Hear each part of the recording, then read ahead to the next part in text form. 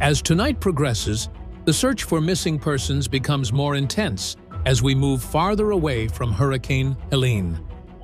The death toll has now skyrocketed above 200, more than a fifth of the fatalities in Buncombe County, North Carolina, and home to the city of Asheville.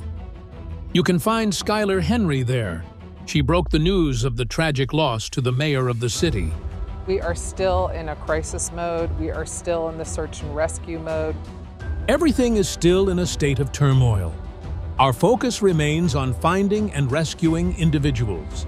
There are people that died in the storm that lived in homes in areas that had never before experienced flooding. So when you're thinking about, you know, do I need to evacuate, there were a lot of people that thought, well, I'm probably fine where I am. With the death toll rising in Asheville, North Carolina, the search for the missing continues six days after the disaster. There are persons that died in the storm that lived in homes in locations that had never before experienced flooding. Uh, and it's going to take a long time and a sustained effort to rebuild our community in western North the end. FEMA has more than 1,500 workers on the ground in the southeast providing supplies.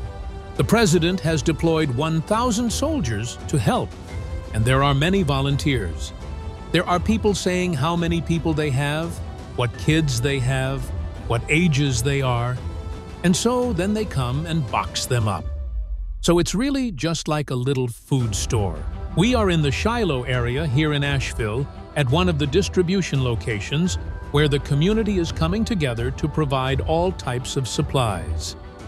Here, you see the essential water, food supplies. There's even dog food down here to try to make sure that everyone, and even all the pets, have everything that they need. Water. How bad is how bad is it where y'all are?